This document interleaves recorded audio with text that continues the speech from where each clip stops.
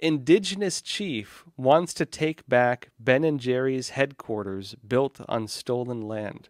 The 4th of July, Independence Day. This was the statement from Ben and Jerry's that's causing this whole ruffle. They said, the U.S. was founded on stolen indigenous land. This year, let's commit to returning it. And then what happens? Well, this Native American chief says, Well, you want to give back stolen land? Time to put your money where your mouth is because your headquarters is built on stolen land.